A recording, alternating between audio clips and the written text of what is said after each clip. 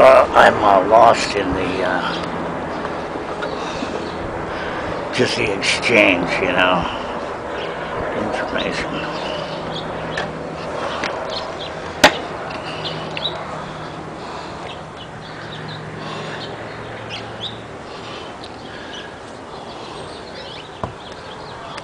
Well, these uh, two figures are um, my uh, imagined uh, two uh, streetwalkers standing on the corner.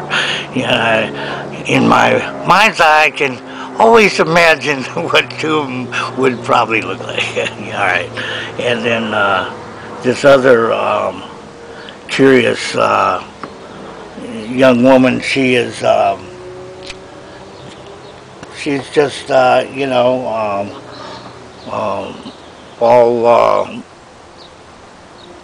pure as the driven snow, you know, just straight from the uh, uh, heart of America. And then uh, you have your uh, Spanish influence uh, south of the border, the old tired, um, you know, last of the plains drifters on his old nag.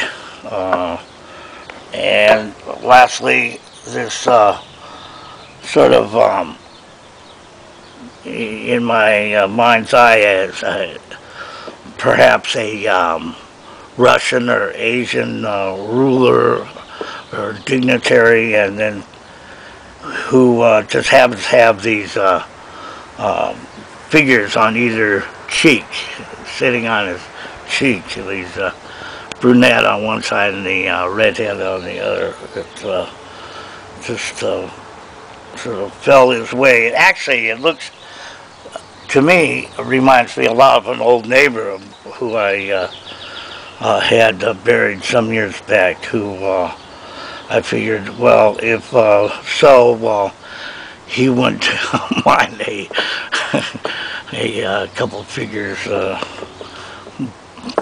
by. So that, that gives you an idea how um,